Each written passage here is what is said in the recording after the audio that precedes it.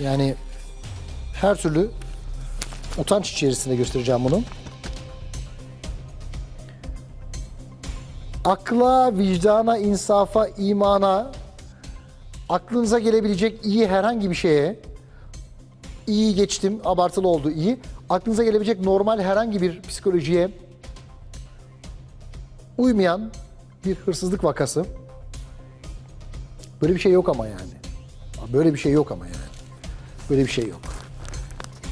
Eyüp Ataban, Eyüp Ataban kardeşimiz Adana'da elektrik akımına kapılı, kapılmış daha evvel ve bacağını, sağ bacağını kaybetmiş.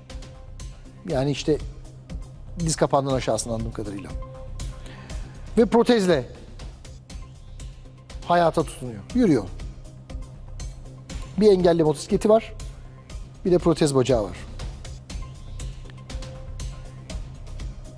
Abdest almak için Merkez Sabancı Camii'nde Şadırvan'a gittiği sırada motosikletini ve protez bacağını bir kenara bırakıyor.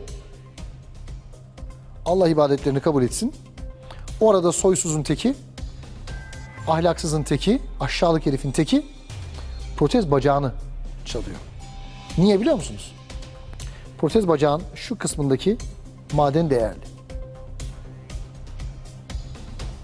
Çok detayına girmek istemiyorum.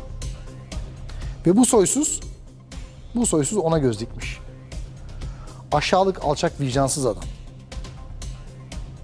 Bu yapılır mı ya? Bu yapılır mı ya? Yani ne, ne söyleyeceğini bilemediği anlar insanların ya. Ne, ne ya şuna, şuna mesela ne yorum yapacaksınız ki? Hani gel dünyanın en usta analizcisini getir. En usta yorumcusunu getir. De ki bana şunu analiz et de. Suça, e, kriminal dosyalara çalışan, polis adliyeye çalışan gazetecileri getir. De ki bana bunu analiz edin de ya. Ne söyleyeceksiniz ki buna yani? Diyor ki Eyüp Ataban, bacağını çalan vicdansızlara isyan ederek, protez bacağımı çalanları Allah benden beter etsin. Beddua iyi bir şey değil ama ya mübarek motoru götürüyorsun, protezi bırak oraya.